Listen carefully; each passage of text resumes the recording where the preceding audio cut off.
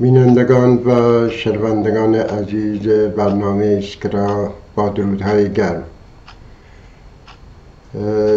من بعد در برنامه های ایسکرا روزای پنجشنبه من عبدالگرپریان برنامه ای رو تحت عنوان تفسیر خبر تقدیم حضورتون می کنم که به مسائل مختلف در کردستان می پردازیم و تنها به بیان خبر یا اخباری که در شهرهای کردستان در طی انقلاب جاری انقلاب زندگی آزادی در جریان خلاصه نخواهد شد و سعی خواهیم کرد که در این برنامه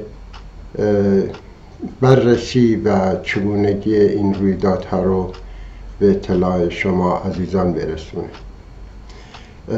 در برنامه امروز سه محور یا سه موضوع رو من در نظر گرفتم که به طور جداگانه به هر کدوم از اونها اشاره خواهم کرد. یکی همونطوری که اطلاع داری در هفته گذشته نیروهای مزدور جمهوری اسلامی تلاش کردند که قبرستان آیجی در سقز رو کنترل بکنن ببندن و مانع از حضور مردم و خانواده ها به بر سر مزار عزیزانشون باشن. به ویژه در این قبرستان اطلاع دارید که مزار زندیات محسا امینی ژینا قرار داره که مرکز و نقطه جرقه این انقلاب شد در سراسر کشور. و تمام دنیا را متوجه خودش کرد. جمهوری اسلامی از این موضوع به شدت نگرانه. شاهد بودیم که طی سالهای گذشته هم در سراسر ایران در شهرهای مختلف مزار عزیزان رو تلاش کرده تحت کنترل خودش در بیاره. موضوع و قضیه خاوران نمونه برجسته از این موضوع. و این تلاش های بیمایه و مستحصلانه جمهوری اسلامی قطعا راه به جایی نخواهد بود پاسخ مردم و پاسخ خانواده محسا امینی گلباران مزار ژینا بود. قطعا جمهوری اسلامی در این رابطه هم همانند تمام اتفاقات و رویدادهایی که در طی انقلاب جاری ما شاهد بودیم شکست خواهد از مسئله هجاب گرفته تا کماکان ادامه حضور مردم به اشکال مختلف در اعتراض به جمهوری اسلامی. در هر حال این تلاش ها و این تقله ها نخواهد تونست که رژیم جمهوری اسلامی رو نجات بده. و ما شاهد تعرض و پاسخگویی مردم و مردم شهر سقل و خانواده جینا در قبال این مسئله بودیم. قطعا در تمام شهرهای مختلف ایران جمهوری اسلامی این پاسخها رو دریافت خواهد کرد. موضوع بعدی که می‌خوام بهش اشاره بکنم در رابطه با خانواده های دادخواهه. خانواده های دادخواه الان در سطح بسیار گسترده ای از تنندش تا تهران از تنندش تا زاهدان آذربایجان خراسان و میشه گفت تمام شهرهای مختلف ایران خانواده های دادخواه و داغ دیده دور هم جمع میشن با هم ارتباط می‌گیرن به هم دیگه سر می‌زنن و تلاش می‌کنن که در بستر فضای انقلابی کنونی نقشی ایفا بکنن و این هم یکی از جوانبیه که جمهوری اسلامی به شدت از آن وحشت داره و نگرانه. به نظر من مسئله خانواده های دادخواه نقش محوری می‌تونن ایفا بکنن در جریان این انقلاب. به ویژه در شهرهای کردستان. شهرهای کردستان تاریخا از مقطع ظهور جمهوری اسلامی در مقابل این حکومت ایستادن. بهش نگفتن. طی دوره های مختلفی سالها سالهای گذشته از 25 سال قبل به این سو ما شاهد برگزاری احتسابات در شهرهای کردستان بودیم.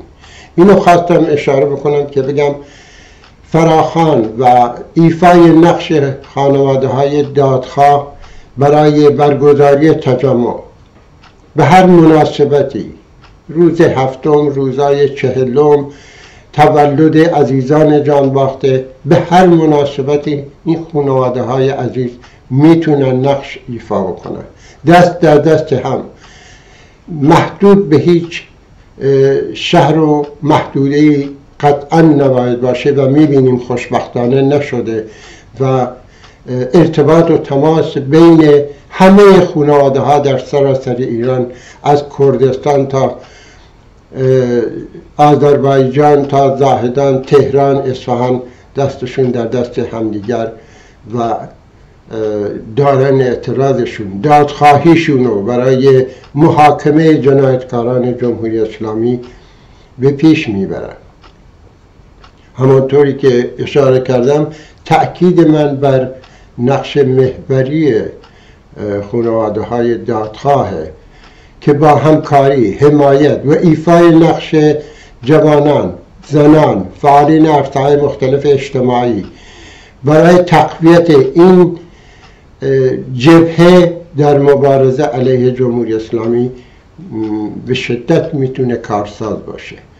و همانطوری که گفتم برای مثال در شهرهای کردستان خانواده های دادخواه دست در دست هم می‌تونن فراخوان دهنده هر تجمع اعتراض و اعتصابی باشند و قطعا جامعه مردم و کل مردم انقلابی به فراخان و خواست خانواده های دادخواه پاسخ مثبت خواهند این رو باید جدی گرفت و امیدوارم شاهد ایفای چنین نقشی در شرایط امروز باشیم. و نکته آخر در برنامه امروز همانطوری که می‌دونید طی هفته گذشته نیروهای جمهوری اسلامی گسیل شدن به طرف مرز به اصطلاح مناطق مرزی بین ایران و عراق. به خیال خودشون همونطوری که بارها ادعا کردن تهدید کردن که گویا نیروهای مسلح احزاب سیاسی در اونجا تهدیدی هستن برای جمهوری اسلامی و با این تهدیدات تهدیدات نظامی و از طرف دیگه فشار بر دولت اقلیم کردستان و فشار بر دولت مرکزی عراق می‌خواد فشاری رو که در داخل ایران از طرف انقلاب زن زندگی آزادی جمهوری اسلامی رو در منگنه گذاشته با این تهدیدات از افکار عمومی رو از یه طرف منحرف بکنه و از طرف دیگه کماکان دست به جنایت بزنه. بارها دیدیم طی سالهای گذشته که مناطق اردوگاهی احزابو که در اونجا سالمندان زنان کودکان زندگی می‌کنن مورد تهاجم قرار داده حمله کرده و بسیاری از انسانها رو در اونجا به قتل رسونده. این ناشی از کماکان فشار انقلاب زن زندگی آزادی که جمهوری اسلامی رو دچار استیصال درماندگی و یأس کرده.